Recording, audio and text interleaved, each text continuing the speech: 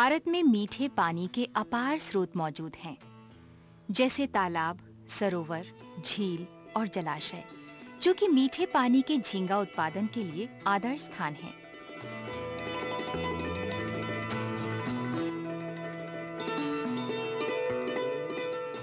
मीठे पानी की मछलियों जैसे काप की तुलना में इनकी कीमत अधिक होती है, इसलिए इनका उत्पादन ग्रामीण मछली पालकों की आमदनी बढ़ाने और आर्थिक स्तर सुधारने में सहायक सिद्ध होगा। मीठे पानी के झींगा को मौजूदा मछली तालाबों में प्रमुख कार्प मछलियों जैसे कतला और रोहू के साथ पाला जा सकता है, या धान की खेती में समेकित कर धान उत्पादन से आमदनी बढ़ाई जा सकती है। मीठे पानी के झींगा की सबसे बड़ी और तेज बढ़ने वाली प्रजाति मैक्रोब्रैकियम रोजनबर्गी के नाम से जानी जाती है। और इसे देश के व्यावसायिक जलजीव पालन दशाओं में सफलतापूर्वक अपनाया गया है। ये प्रजाति सामान्यतया स्कैम्पी के नाम से जानी जाती है और देश विदेश के बाजारों में इसकी अच्छी मांग है। ये शीघ्र ही बहुमूल्य विदेशी मुद्रा के अर्जन का प्रमुख स्रोत बनने वाली है। इसे कार पालन प्रणाली के एक घटक के रूप में आसानी से अपनाया जा सकता है या निर्यात के उद्देश्य से अकेले भी पाला जा सकता है। झींगा पालन के और अधिक प्रसार में एक प्रमुख समस्या तालाबों में संग्रह के लिए झींगा बीजों, यानी पोस्ट लार्वा की पर्याप्त आपूर्ति का अभाव है। आने वाले वर्षों में कम से कम दो लाख हेक्टेयर जल क्षेत्र के विकास के लिए एक हज़ार करोड़ झींगा बीजों की आवश्यकता का अनुमान है। इस कमी को दूर करने और बीजों की आपूर्ति बढ़ाने के लिए क्या उपाय किया जा सकता है? इसका उत्तर, सीफा के नाम से विख्यात केंद्रीय मीठा जल जल जीव पालन संस्थान के वैज्ञानिकों ने दिया है। ये प्रमुख संस्थान देश के मीठे जल में संवर्धन द्वारा जल जीवों का उत्पादन बढ़ाने के लिए प्रौद्योगिकी विकसित करने और उनके मानकीकरण में संलग्न है।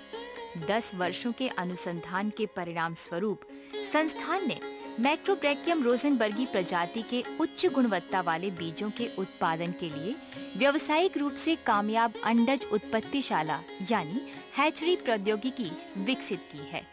इससे हैचरी की श्रृंखला स्थापित होने की संभावना बन गई है। आइए बीज उत्पादन की प्रक्रियाओं पर निगाह डालते हैं। सर्वप्रथम प्रजनक झींगा, यानी वयस्क नर और मादा झींगा का संग्रह किया जाता है। प्रजनक झींगा या केवल अंडाधारी मादाओं को नदियों की निचली धाराओं, संवर्धन तालाबों या प्रजनक झींगा तालाबों से इकट्ठा किया जाता है। सीफा में प्रजनक झींगा को कच्चे तालाबों में पाला जाता है। बीज उत्पादन के पहले चरण में प्रजनक झींगा तालाब से स्वस्थ मादा झींगा को चुनकर हैचरी लाया जाता है। इसके उदर के पृष्ठ भाग में धूसर अंडे मौजूद होते हैं। फिर मादा झींगा को 30 ppm यानी 30 भाग प्रति 10 लाख भाग फॉर्मेलिन से 30 मिनट के लिए वातन के लिए जम रहित किया जाता है। फिर इनका 100 से 150 ग्राम प्रति घन मीटर की दर से खारे पानी में अंडों से लार्वा निकलने तक संग्रह किया जाता है। पानी में 5 पीपीटी, यानी पाँच भाग प्रति हज़ार भाग लवणीयता रखी जाती है। लार्वा निकलने में दो से तीन दिन लगते हैं। टंकी को प्रतिदिन साइफन द्वारा और हर दूसरे दिन 50 प्रतिशत पानी बदलकर साफ़ किया जाता है। कांच के बीकर की मदद से प्रतिदिन लार्वा निकलने की जाँच की जाती है। एक बार अंडों से लार्वा निकलने लगे तो ये प्रक्रिया 24 से 48 घंटे तक जारी रहती है। इसके बाद मादा को टंकी से निकालकर फिर से प्रजनक झींगा तालाब में छोड़ दिया जाता है। नए उत्पन्न लार्वा सूक्ष्म होते हैं और इन्हें जीवित रहने और बढ़वार के लिए 10 से 12 पीपीटी लवणीयता वाले खारे पानी की आवश्यकता होती है। इसकी अलग-अलग आकृतियों वाली 11 सुस्पष्ट लार्वा अवस्थाएँ होती हैं और इसे पोस्ट लार्वा बनने में 30 से 35 दिन लगते हैं। मादा झींगा को बाहर निकालने के बाद लार्वा पालन माध्यम की लवणीयता 12 पीपीटी तक बढ़ा दी जाती है।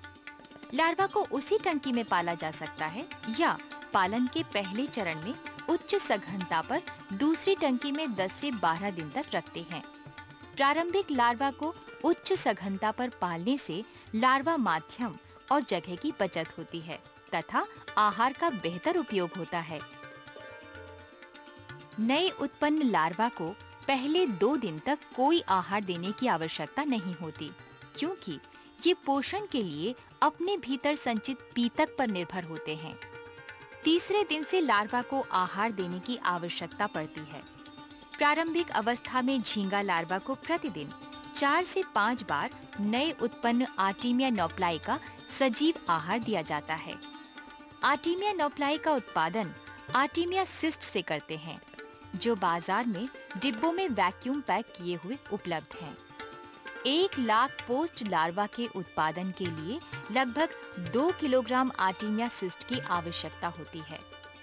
आर्टीमिया नोप्लाई के उत्पादन के लिए सिस्ट को एक घंटे तक मीठे पानी में रखा जाता है और फिर सोडियम हाइपोक्लोराइड द्वारा जन्म रहित करते हैं। इसके बाद सिस्ट को बहते हुए नल के पानी में धोया जाता है और हैचिंग के लिए बढ़िया वायु प्रवाह के साथ सिलेंडर को कोनिकल टैंक में रखते हैं। 24 घंटे के बाद सिस्ट से आर्टीमिया नोप्लाई निकलते हैं, जिन्हें प्लास्टिक की बाल्टी से साइफन करके सिस्ट के खाली खोल और बेकार सिस्ट से अलग कर लिया जाता है। आर्टीमिया नोप्लाई को लार्वा के माध्यम में मिला देते हैं और फिर लार्वा को आहार के रूप में देते हैं। लार्वा पालन की तलहटी में जमे अतिरिक्त खाद्य पदार्थों और व्यर्थ पदार्थों को प्रतिदिन साइफन द्वारा निकालकर सफ़ाई की जाती है। ये काम वायु प्रवाह बंद करके, जहाँ तक हो सके शाम के समय पानी बदलने और आटी में नौपलाई डालने से पहले करना चाहिए।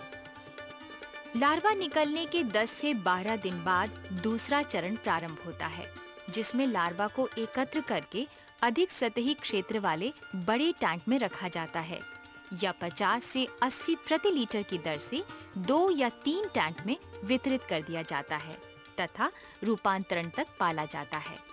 लार्वा पालन के द्वितीय चरण में लार्वा को आर्टिमिया नोप्लाई और एग कस्टर्ड नामक गीला लार्वा आहार के रूप में दिया जाता है। एग कस्टर्ड बनाने के लिए मुर्गी का अंडा, मक्खन या दूध का पाउडर, गेहूँ का आटा, मसेल का मांस, विटामिन और खनिज मिश्रण तथा कॉड मछली के जिगर के तेल को मिलाकर मिक्सी में पीसते हैं और फिर इस गीले पदार्थ को 15 मिनट तक भाप में पकाया जाता है। कस्टर्ड को तीन से चार दिन तक प्रशीतन में रखा जा सकता है। कस्टर्ड को जालीदार छन्नी से विभिन्न कण आकारों के अनुसार छान लिया जाता है और इसका लार्वा के माध्यम में निलंबन बना लेते हैं। फिर इसे ड्रॉपर की मदद से लार्वा को खिलाया जाता है। 50 प्रतिशत से अधिक प्रोटीन वाले गीले लार्वा आहार को लार्वा अवस्था के अनुसार प्रतिदिन 50 से 200 माइक्रोग्राम प्रति लार्वा की दर से खिलाना चाहिए। गीला आहार दिन के समय दिया जाता है। आहार देने का काम लगातार निगरानी रखते हुए सुबह तड़के शुरू करके दोपहर बाद तक करना चाहिए और बीच में एक घंटे का अंतराल देना चाहिए। हैचरी में मुख्य समस्या पानी की गुणवत्ता को उत्तम बनाए रखने की है। हैचरी में पानी की गुणवत्ता चयापचयी पदार्थों के इकट्ठा होने और व्यर्थ पड़े खाद्य पदार्थों के सड़ने से खराब होती है। पानी की गुणवत्ता के प्रबंध का सर्वोत्तम तरीका प्रतिदिन पानी बदलना है। लेकिन ये केवल तटीय हैचरी में ही अपनाया जाता है। समुद्र तट से दूर स्थित हैचरी में हर दूसरे तीसरे दिन पीएच और अमोनिया की जाँच के बाद पानी बदलना चाहिए। पानी की गुणवत्ता को सर्वोत्तम बनाए रखने के लिए तापमान, लवणीयता, पीएच मान और घुली हुई ऑक्सीजन की प्रतिदिन जाँच करनी चाहिए। अमोनिया की जाँच पानी बदलने से पहले करें। सफल बीज उत्पादन के लिए पानी का तापमान 29 से 31 डिग्री सेल्सियस के बीच रखें। लवणीयता 10 से 12 पीपीटी के बीच हो। पीएच मान 7 से 8.5 के बीच हो और घुली हुई ऑक्सीजन 5 पीपीएम से अधिक होनी चाहिए। नाइट्राइट और अमोनिया 0.1 पीपीएम से कम होनी चाहिए। सामान्यतया लार्वा एक से चार दिन में एक अवस्था पार कर लेते हैं। स्वस्थ लार्वा पानी की सतह पर तैरते हैं और बड़ी तेज़ी से आहार ग्रहण करते हैं, जबकि अस्वस्थ लार्वा टैंक की तलहटी में इकट्ठा हो जाते हैं। लार्वा उत्पन्न होने के लगभग 20 दिन बाद, आमतौर पर 22वें से 26वें दिन के बीच 28 से 32 डिग्री सेल्सियस तापमान पर पहला पोस्ट लार्वा दिखाई देता है। 90 प्रतिशत लार्वा अगले 10 दिन में रूपांतरित हो जाते हैं। पोस्ट लार्वा को इसके व्यवहार और रंग रूप में असाधारण बदलाव के कारण पहचाना जा सकता है। पहली बार ये नन्हे वयस्क झींगा के समान दिखाई देते हैं और तेज़ी से तैरते हुए टैंक की सतह पर रेंगते हैं या चिपक जाते हैं। पोस्ट लार्वा का उत्पादन सामान्यतया 35 से 40 प्रति लीटर के बीच होता है और ये चक्र 35 से 40 दिन तक चलता है। लार्वा के पालन में रूपांतरण से पहले और बाद की अवस्थाएँ नाजुक होती हैं। विभिन्न प्रकार के आधार उपलब्ध कराकर स्वजाति भक्षण की समस्या न्यूनतम की जा सकती है। इसके लिए घोंगे के खोल या प्लास्टिक से एक के ऊपर एक कई प्लेटफॉर्म वाली खड़ी प्रणाली या घनी जाली वाले बड़े फ्रेम बनाकर टैंक में रख दिए जाते हैं। जिन पर पोस्ट लार्वा आराम करते हैं। लार्वा टैंक से संग्रह के बाद पोस्ट लार्वा को धीरे धीरे मीठे पानी के अनुकूल बनाया जाता है। प्रारंभ में पोस्ट लार्वा को 5 पीपीटी के माध्यम में 24 घंटे तक रखा जाता है और फिर इन्हें 24 घंटे के लिए दो पीपीटी में रखते हैं। इसके बाद इन्हें मीठे पानी में स्थानांतरित कर देते हैं। मीठे पानी में अनुकूलीकरण के बाद पोस्ट लार्वा, यानी बीज को लार्वल आहार देना बंद करके विशेष रूप से तैयार आहार उनके जैव भार के 100 प्रतिशत की दर से प्रतिदिन दिया जाता है। एक सप्ताह या पखवाड़ी के बाद पोस्ट लार्वा बढ़वार के लिए तालाब में छोड़ने योग्य हो जाते हैं और इन्हें झींगा पालकों को बेचा जा सकता है। परिवहन के लिए बीजों को पॉलीथीन की थैलियों में ऑक्सीजन के साथ पैक किया जाता है और कनस्तर या ऊष्मारोधी डिब्बों में रखा जाता है। पॉलीथीन की थैली में लगभग एक तिहाई पानी भरा जाता है। सामान्यतया 24 से 30 घंटे परिवहन के लिए बीजों को 50 से 100 प्रति लीटर की दर से पैक किया जाता है। यदि परिवहन की अवधि 30 घंटे से अधिक हो तो बीजों की सघनता घटाकर 25 से 30 प्रति लीटर कर देनी चाहिए। रोगों की रोकथाम के लिए बीज उत्पादन के प्रत्येक चक्र के बाद लार्वा पालन के सभी टैंकों तथा लार्वा पालन में उपयोग की गई अन्य वस्तुओं को जन्म रहित करना आवश्यक है। कैल्शियम या सोडियम हाइपोक्लोराइड हैचरी में उपयोग किया जाने वाला सबसे प्रचलित रोगाणुनाशी है। मीठे पानी के झींगा के लार्वा को प्रभावित करने वाले अनेक रोगों का पता लगाया गया है। जीवाणु, कवक और प्रोटोजोआ रोग उत्पन्न करने वाले प्रमुख कारक हैं। रोग की समस्या आमतौर पर इन कारणों से उत्पन्न होती है टैंक में साफ़ सफ़ाई में कमी, पानी का अपर्याप्त बदलाव, आहार की गुणवत्ता या मात्रा में कमी और ऑक्सीजन की कम उपलब्धता सिफा द्वारा इस उपलब्ध टेक्नोलॉजी से 20 लाख बीज वार्षिक उत्पादन वाली मीठा जल झींगा की हैचरी करीब 15 लाख रुपए की शुरुआती लागत से लगाई जा सकती है, जिसकी बिक्री से वर्तमान मूल्य पर करीब 10 लाख रुपए कमाए जा सकते हैं। मीठे पानी के झींगा के उत्पादन में वृद्धि से न केवल ग्रामीण मछली पालकों और उद्यमियों की आर्थिक स्थिति में सुधार होगा, बल्कि ये देश को अंतर्राष्ट्रीय बाज़ार में प्रभावशाली ढंग से प्रवेश दिलाने में सहायक होगा।